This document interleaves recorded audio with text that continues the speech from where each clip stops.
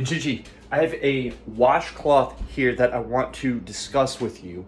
Um, and washcloths are used to clean uh, various things. I've used them actually to clean my couch, which let me show you my couch. This is my couch over here. We don't have a light. Let me get a light because like I said before, lights are a great way of denoting uh, color and making videos great, which I obviously am an expert with. So if the couch gets dirty, then we can use a little bit of Dawn detergent, in my case, the great value detergent, dishwashing soap rather, and we can just put just a little bit onto the washcloth and we can scrub in a clockwise or counterclockwise movement motion. Now, getting back to it, getting back to it, I want to show you what I am working on here. This is a red cup, okay? Now, what I do with this cup, and this is interesting. So this is pre-gym workout pineapple strawberry and it's delicious and i just drank a shit ton of it okay now i need to clean this cup but we don't want to do it with our hands we don't want to even necessarily soak it because that would just take too much time now we have various options of cloth right here okay as you can tell we have and this this, actually, this is the same cloth, look, that I'm using right here. Can we see it? Where's my hand? Yes, this.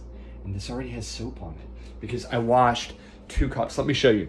I washed these cups right here. I'll show you how I'm gonna wash these cups. Give me a second now.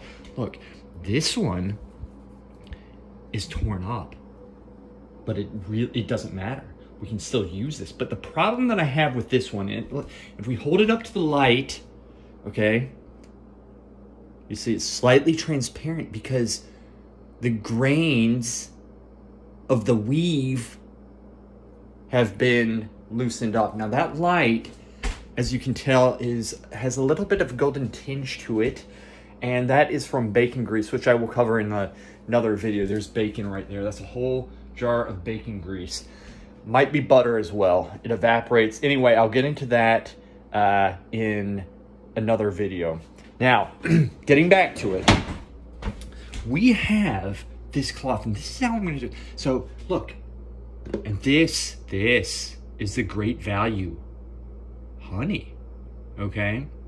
I put a little bit of water in there, and it loosens the residual honey, if you will okay? And then I can pour that into whatever I want. As, but you don't want that sitting too long, otherwise it becomes plasticky. Now look, here's what I'm gonna do.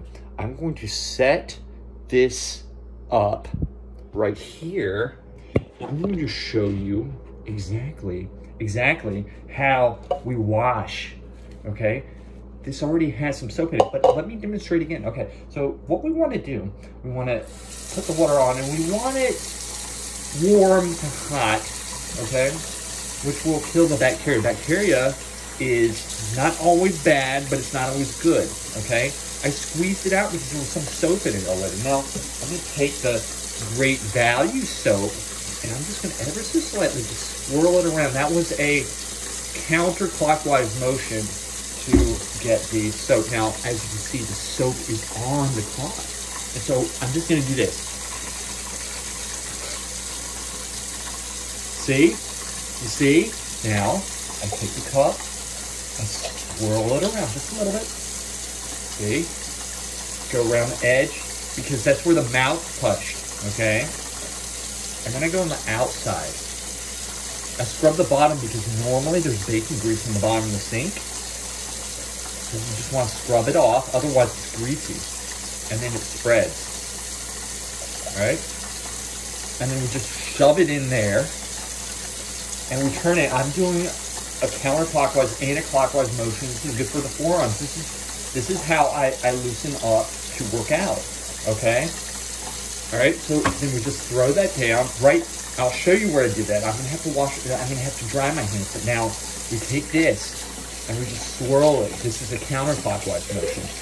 I'm turning the cup upside down right now. Okay. Swirl it again. We poured the water out. Is it clean? Not yet. We take the water, we swirl it, counterclockwise motion, pour it out, okay? And then what we do, before I, uh, I'm putting it on the counter, I'm gonna shut the water off. Now, I'm going to dry my hands with this cloth right here, okay? It has a gray stripe. We put this back, okay? And then, watch this.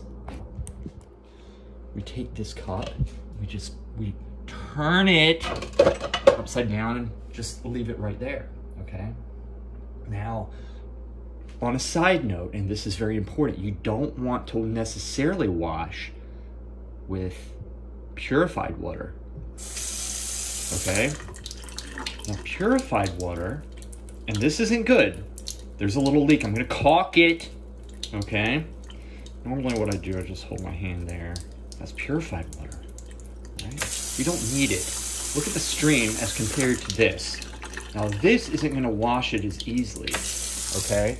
So, anyway, and that's a sweatband, okay? It says natural on it, all right? It's from the 80s. Maybe the 70s. It has holes. It's frayed, rather. Um, I think that is pretty much it.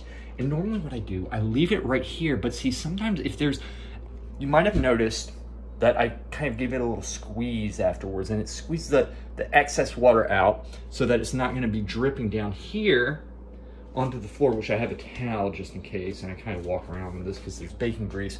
Um, but like I said, I'll do that in another video. Okay, NJJ, I'll see you.